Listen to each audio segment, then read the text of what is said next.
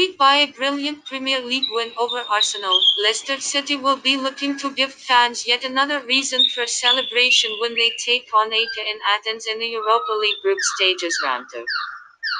The Foxes kicked off their Europa League campaign with a routine 3-0 win over Zorya, and they are seen as favourites to win Thursday's football match. Jamie Vardy has overcome his injury, but the experienced attacker, who scored the winner against Arsenal, is likely to be rested against AEK. The hosts, on the other hand, suffered a 3-0 loss to Braga in their Europa League opener. The Yellow and Blacks defeated Giannina in the Greek Super League at the weekend, but they will have a much bigger fish to fry in Thursday's football match.